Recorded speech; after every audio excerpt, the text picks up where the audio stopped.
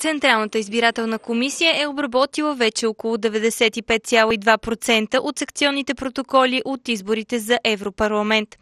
За ГЕРБ са гласували 30,94%, за БСП 24,24%, за Патриоти за Валери Симеонов 1,15%, избирателната активност е 26,2%.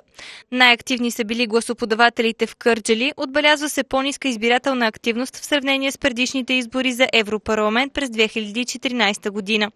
Седем медии са наказани от ЦИК, тъй като оповестили прогнозни резултати преди края на работния ден. От ЦИК прогнозират, че точното разпределение на българските евродепутати ще стане ясно на 29 май.